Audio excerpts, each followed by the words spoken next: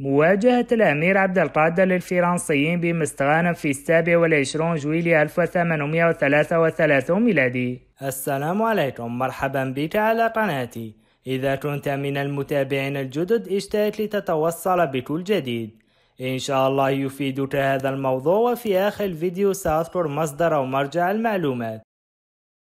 مواجهة الأمير الفرنسيين بمستغانم في السابع والعشرون جويلية 1833 ميلادي. ألف. استعدادات الأمير والجنرال دي ميشيل للمعركة بينما ظهر الأمير عبد القادر مع بعض فرقه العسكرية أمام تلمسان حيث طلب من بنون الاعتراف بسلطته. كانت ستة قطع بحرية تنزل عند الساعة الخامسة من صباح الخامس والعشرون جويليا في مرفأ الدجاج بالقرب من المرتع قوة فرنسية. تتألف من 1400 مقاتل ومدفعية ميدان.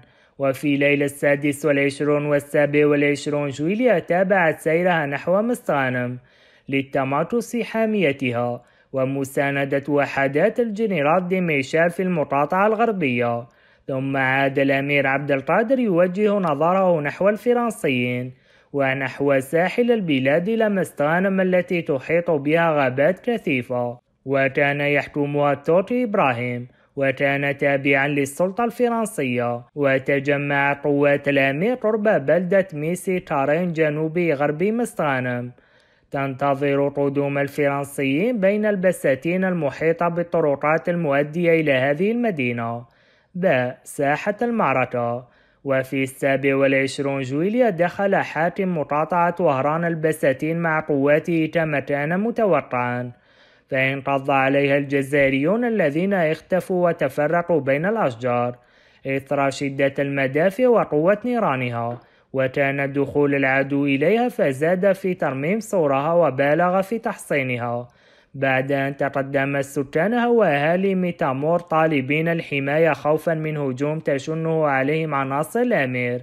واستقبلهم القاضي إبراهيم والزعماء بلدتي ميسي تارين وميسي غارين مستسلمين لإرادة الجنرال دي ميشيل وبديله العقيد دوباري منفذين أوامر ضباطه. وخرج منها جم غافير ولحقوا بالمدن الداخلية منها تلمسان. ولما عوزت المجاهدين الوسائل ارتحام أسوارها وحصونها راحوا يعملون لهدمها بالمعاول لكن لم ينجحوا نتيجة للمدفعية التي كانت تقف حائطا أمام تقدمهم فأرادوا حفر نفر تحت الأرض إلى السور وملأوه ببارود. وأضرموا فيه نارا أحدثت فيه ثغرة صغيرة غير كافية لاقتحام المدينة منه. فأرادوا الاستيلاء من جهة البحر على المراكب الراسية بالميناء ولكن حامية المدينة أفشلت مخططهم بتحويل فوهات المدافع في اتجاه الميناء. فقرر الأمير في الخامس أوت الرجوع إلى معسكر تا نتائج المعركة خسر الأمير عشرون مقاتلا من بينهم محمد بن تازاير من الغرابة وعبد القادر الولد محي الدين قاضي من أولاد سليمان وابن عم مصطفى بن إسماعيل. أما خسائر الفرنسيين فكانت أربعة عشر قتيلا ورغم فشل الأمير في الصمود وجه الجيش الفرنسي المنتصر لكن ذلك زاده إيمانا بمتابعة الحرب ليؤسس دولة في غربي الجزائر وإخضاع كل أنحاء البلاد كما بدأت مشكلة تموين قوات دي ميشيل تتأزم وطلب من القبائل المجاورة إمداد فرقه بالمؤن والعلف مقابل حياتهم. وجنيهم الأرباح من تجارتهم معه. بنونا من أعيان حضر مدينة تلمسان كان صاحب تجارة. توفي بعد معركة إيسلي التي جرت في سنة 1844 ميلادي بالمغرب الأقصى. استنتاج. كانت لهذه المعارك إيجابيات منها حصار القوات الفرنسية وخنق حاميتها بوهران. ولكن لولا تعاون بعض القبائل وتمويلها لهذه القوات لكانت نتائج هذه الحروب على العدو وخيمة.